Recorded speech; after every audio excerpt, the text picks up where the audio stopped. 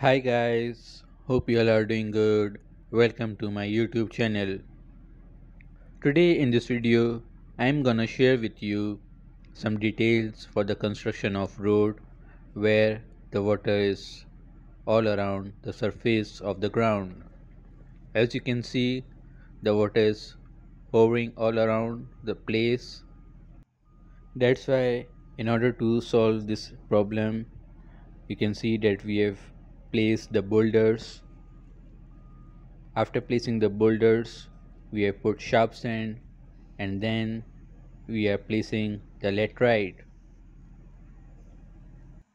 Once we complete the filling of boulders and sharp sand we shall do the sub base and base. As you can see here that we have started placing the laterite for the sub base we are also pouring water all around so that it can gel well. You can see that payloader is being used to spread the laterite. After placing the laterite, we use this smooth roller as well as the sheep foot roller. Make sure you do the compaction properly since this place is very delicate you have to make sure that you use sheep foot roller as well as this smooth roller. Because these rollers help you to achieve a very good compaction.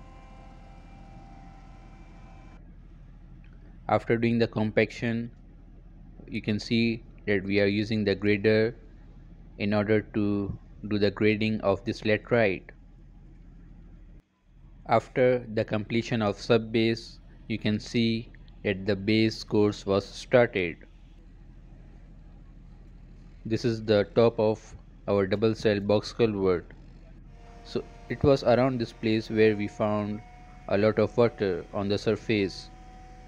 This is the reason why we had to use boulders as well as sharp sand. So guys, I hope you found this video a very interesting one. Thank you so much for watching this video. Until my next video, goodbye.